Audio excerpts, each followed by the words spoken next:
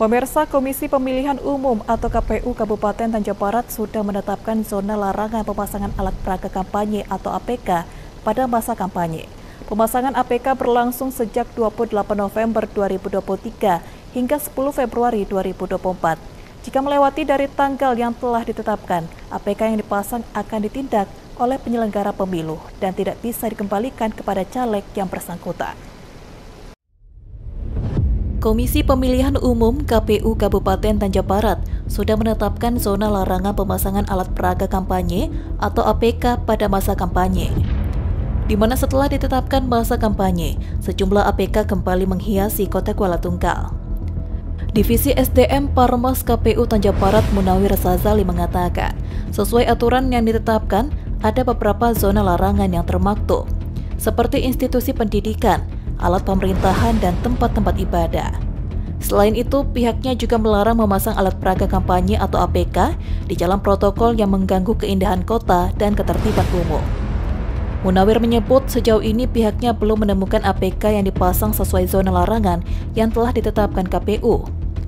Setelah dilihat di lokasi belum ditemukan pemasangan ataupun pelanggaran di tempat ibadah, di tempat sekolah maupun tempat-tempat milik pemerintahan dan zona larangan ini sudah disepakati oleh pengurus partai peserta pemilu pada saat rapat koordinasi.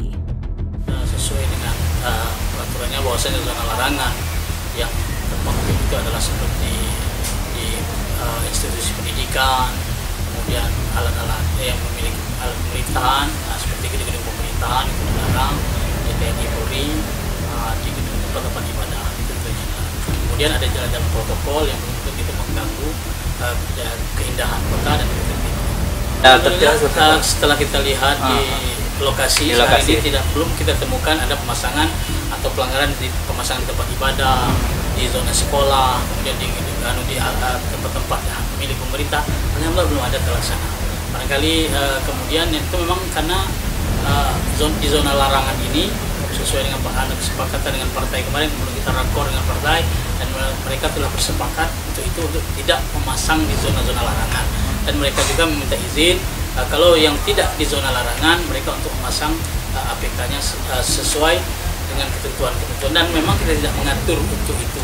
Banyaknya uh, desainnya dan ah. ukurannya tidak ada kita diatur oleh lebih lanjut, Munawir menampakkan untuk jumlah APK, desain dan ukurannya tidak diatur oleh KPU.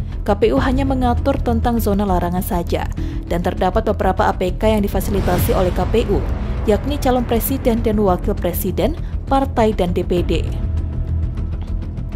Surya Kurniawan, Cek TV, melaporkan.